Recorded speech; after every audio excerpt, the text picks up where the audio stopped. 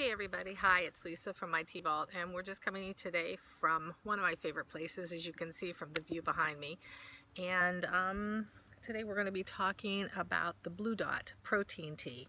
It's got 10 grams of protein, 5 grams fiber, and lightly sweetened. The flavor is cranberry pomegranate flavored green tea. not alone up here at Freshman's Bluff, so you'll be hearing some noise behind me. Um, one container, one serving, about 110 calories. You've got um, 20 gram, milligrams of sodium, 20 grams of total carbohydrates. And basically in this tea, filtered water, organic cane sugar, whey protein, chicory root, organic green tea, concentrated cranberry juice, natural flavor, citric acid, carrot juice, and extract for color. So let's check it out. Got my cup, I already have it poured. Really nice. Has a nice flavor.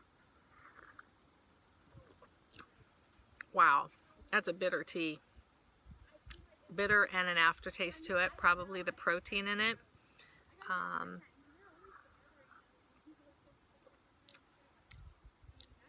yeah, it kind of gets stuck in your throat. I think if you're going to need protein, you could probably get it in a better place.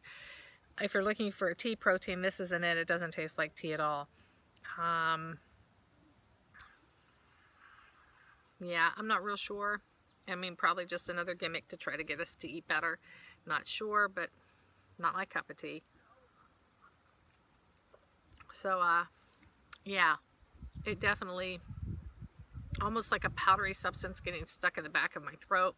It's bitter. I can taste that pomegranate taste to it. Not very sweet. Definitely no tea in here that I could taste. Um, Okay, so if you need to get your protein, you probably get it somewhere else, but I'll show you the bottle. You've got a Blue Dot protein tea.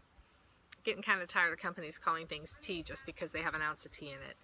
Um, it's not a tea, probably more a protein drink, but I think we can find better places to get protein. All right, everybody, do you see those clouds? Do you see the beauty in this day? Get out there and enjoy it. Do something fun. Let me know what you did, and have a great day. Bye-bye.